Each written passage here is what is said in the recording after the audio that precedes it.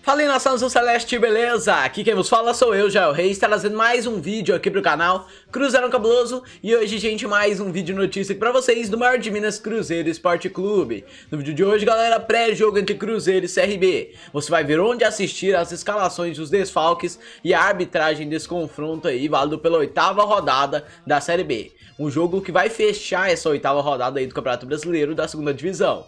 Antes da gente continuar aqui no vídeo, eu quero pedir pra você que é novo aqui no canal e ainda não é inscrito, pra descer um pouco a tela e se inscrever aí embaixo e ativar o sininho, que aí você recebe as notificações de quando sair vídeos novos aqui no canal e fica sempre por dentro de tudo que acontece com o maior de Minas Cruzeiro Esporte Clube. Além de receber as notificações né, de quando sair vídeos novos, aí você não perde nada mesmo do cabuloso. Também deixe seu like, compartilhe o vídeo com seus amigos e desce aí nos comentários e deixe o seu placar pra essa partida de hoje, certinho galera? Então, sem mais enrolação, bora falar do Cruzeirão, porque o feriado da Independência reservou o fechamento da oitava rodada do Brasileirão da Série B do campeonato, né? E em jogo que mexe com as duas pontas da tabela, que é Cruzeiro e CRB se enfrentam nesta segunda-feira às 8 horas da noite no horário de Brasília, no Mineirão. Os dois clubes vêm de tropeços na competição e buscam reação para subir na tabela.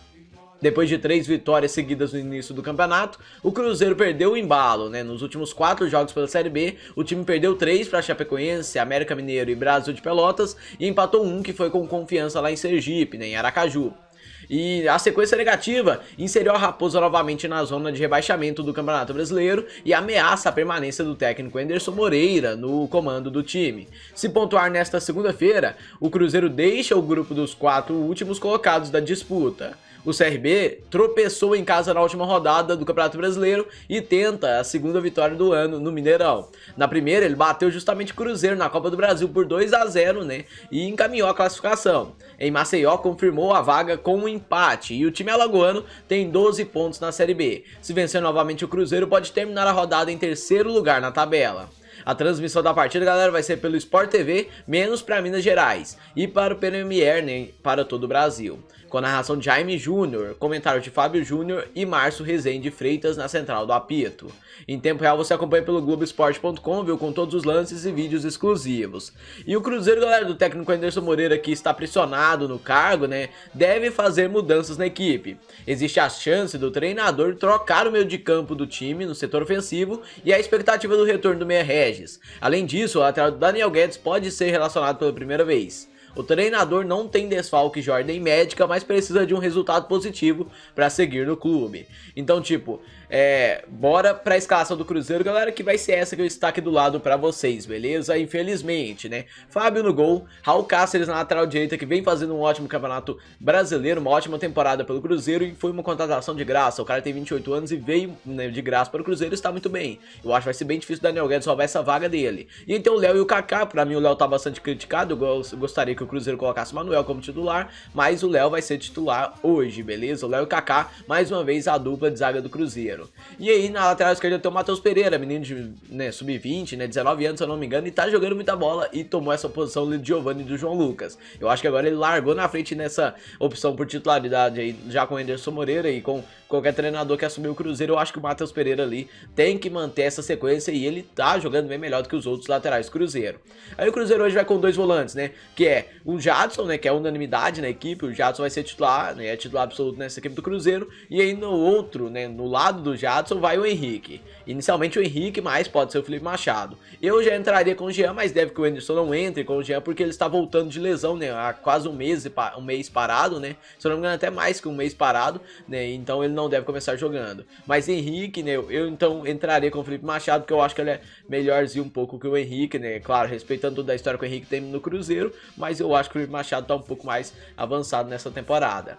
E aí o Cruzeiro vai com três atacantes, viu galera? Um meia direita, que é o Ayrton, né, que chegou pouco tempo atrás, né? A primeira partida dele foi justamente contra o CRB lá em Maceió, e hoje ele é titular mais uma vez, né? Ele entrou naquela partida contra o CRB lá em Maceió, né? E aí ele entrou no segundo tempo, jogou meia hora e não saiu mais da equipe? Começou os outros jogos como titular, foi substituído sim no segundo tempo de vez em quando, mas ele é titular absoluto agora e tá jogando muita bola. Pega a bola, dribla, joga muito, corre, é um cara muito velocista e tem muita qualidade. E aí o Cruzeiro vai com Arthur Kaique na meia esquerda, viu galera? Arthur Kaique tem um gol pelo Cruzeiro, gol de falta na derrota para o América por 1x0. E esse é, eu acho que é o principal ponto, é, a principal característica do Arthur, né? Que é a cobrança de falta com qualidade. Ele tem um ótimo chute, uma ótima finalização, né? De média e longa distância, tanto como de perto também, né? E aí o meio atacante do Cruzeiro vai com o Maurício inicialmente, mas pode ser o Regis que entre nesse lugar ali. Até porque os dois estão mal na temporada, né? Tipo, começaram bem, mas agora estão nessa caída como todo o elenco do Cruzeiro. E eu espero que quem entrar dê conta de serviço. Eu confio em todo mundo aí do Cruzeiro nesse time, beleza? Quem o Anderson escalar, eu vou estar confiante e eu vou torcer pro Cruzeiro vencer essa partida. E lá na frente o atacante Marcelo Moreno, boliviano, tem apenas um gol na temporada, mas é o atacante do Cruzeiro, né? O cara deixou tudo lá na China para jogar aqui pelo Cabuloso nessa segunda divisão e agora eu confio nele. Eu estou confiante que o Marcelo Moreno vai fazer um gol hoje aí, pelo menos os gols da vitória do Cruzeiro, que a gente vai conseguir os três pontos contra o CRB, beleza? O Cruzeiro não tem ninguém fora do confronto de hoje e tem dois pendurados, que é o Ariel Cabral e o Anderson Moreira, que é o treinador, né? Então agora, galera, bora pro CRB do técnico Marcelo Cabo, né? Que o zagueiro Gum volta ao time depois de cumprir suspensão. O Xandão sai no meio campo, né? O Washington pode ganhar a disputa com o Thiaguinho. E na quarta, ele ficou no banco. E no ataque, a dúvida fica entre Luigi e Bill, que é um autor de um belo gol por 2 a 2 no empate com o Sampaio Correia. O atacante Léo Gamalho é o artilheiro do time no ano, com 15 gols e comanda o setor ofensivo. Falando, falando no Léo Gamalho, galera, é bom a gente manter o olho olho nele, né? Até porque ele fez todos os gols do CRB em cima do Cruzeiro. Então, essa que vai ser a escalação do CRB para vocês, galera. Que vai com Vitor Souza no gol, Reginaldo na lateral esquerda, Gum e Reginaldo Júnior de zaga, viu? A zaga bem, bem forte, né? A gente jogou contra eles lá em Maceió e é uma zaga bem legal. Gum e Reginaldo. E aí na lateral esquerda tem o Igor. E aí vão com dois volantes, né? Que é o Claudinei e o Washington, Claudinei aí que é ídolo da equipe, né? O Claudinei é ídolo da equipe do, do CRB e tem o Washington que pode entrar no lugar do Thiaguinho, né? Mas o Thiaguinho é o titular, mas o Washington é o favorito para começar jogando. E vão com mais ou menos três atacantes, né? Uma equipe bem recuada, né? Que deixa apenas o Léo Gamalho lá na frente, como você pode ver aqui na escalação, né? Que tem o Magno Cruz ali como mais um meia direita e o Luigi como um meia esquerda, podendo entrar o Bill no lugar dele, né? Mas esses jogadores aí, eles ficam muito recuados, mas são muito velocistas, aí podem ganhar bem. Por isso que eu acho que ali o Matheus Pereira na lateral esquerda vai dar conta de anular bem o Magno Cruz. E o Raul Cáceres, claro, na lateral direita vai conseguir anular o Luigi, né? Lembrando para vocês que no jogo contra o CRB, lá em Maceió, o Cruzeiro só tomou gol, né? Porque não tinha o lateral esquerdo ali, né? Eu não sei porque ele, ele tinha descido, ele não tinha voltado. Tanto que o Manuel estava fazendo ali a cobertura na, na ponta esquerda, na ponta direita do CRB, na ponta esquerda do Cruzeiro, no lado esquerdo do Cruzeiro, né? E aí cruzou a bola e o Léo Gamalho fez, né? O Léo Gamalho, que é o centroavante dos caras, o artilheiro na temporada, um dos artilheiros do Brasil, né? Tá fazendo uma ótima temporada e vem forte para essa partida de hoje, né? E quem está fora, galera, da equipe do CRB é o Eric, que fez uma cirurgia no joelho, e o Everton Páscoa, que tem problemas na coxa.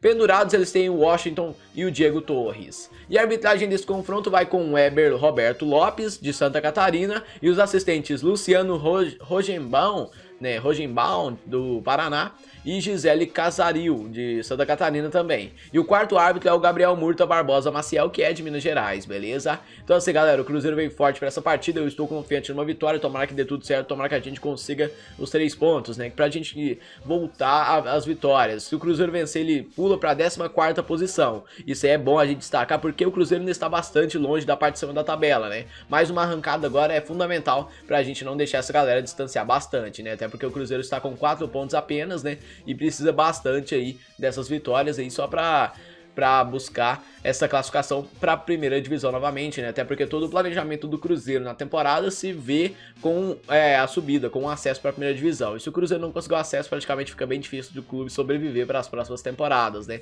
Até porque mais uma temporada na Série B, é, ainda mais sendo que de janeiro a maio deste ano o Cruzeiro teve 260 milhões em prejuízo, né? Então imagina nas próximas temporadas que a arrecadação é bem menor, beleza? Então galera, esse foi o vídeo de agora, obrigado você que assistiu até aqui. Se gostou, deixa o like aí embaixo, se ainda não foi inscrito no canal é novo por aqui, se inscreve aí embaixo também e ativa o sininho, que você recebe as notificações de quando sair vídeos novos aqui no canal e fica sempre por dentro de tudo o que acontece com o maior de Minas Cruzeiro Esporte Clube. Então é isso aí, nação, obrigado vocês que assistiu até aqui, é nóis, valeu, fui!